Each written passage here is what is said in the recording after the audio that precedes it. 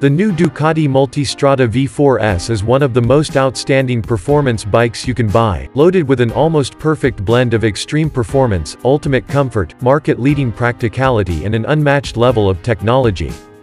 Inserting an all-powerful Panigale V4 motor into a big, all-round one can sound like a recipe for disaster that doesn't fit, but Ducati has done it very well.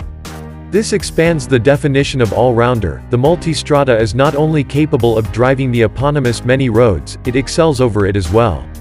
From touring to track days to off-road to hammering round town, there will be several bikes that can match Ducati in one discipline, let alone all of them. At first glance the new Multi doesn't look any different from the old V-twin, until the jacket comes out and you see the V4 badge, new traffic farewell, LED encrusted beaks cornering, smooth restyling and the addition of more strakes, wings and scoops. It doesn't take too long in a luxurious, heated saddle to realize that the entire ethos has also changed. When it was released in 2010, the outgoing 1198 Superbike-based Multistrada was the bike for those who crave the repetition performance of the races they left behind. It was a truly comfortable superbike and such a huge success that it quickly influenced its two main rivals, the BMW S1000XR and the KTM 1290 Super Duke GT. Many will even take their multis to the track, there is indeed a lap timer on the new 6.5-inch color dashboard, but it didn't take long to find clues in a new direction, like the relatively low four-cylinder red line and the controversial move. Dot. From 17-inch to 19-inch front wheels. Those 19-inch front wheels will let you off the highway, if you're brave enough, but preclude using anything stickier than sports touring or dual-purpose rubber.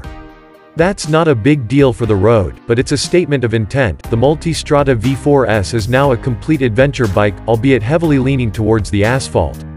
Adaptive cruise control is a first for road bikes.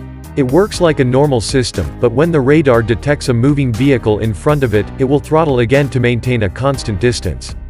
This can be useful but takes away from smoothness when driving and often locks in slower highway traffic when you don't want it. But the new blind spot detector comes in handy, alerting you if a vehicle is approaching.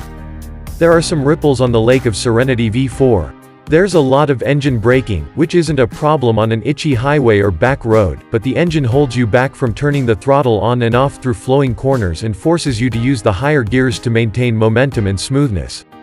The Brembo Stylemas don't have the power you expect, which may be due to the touring specification brake lining material and the overall weight of the bike.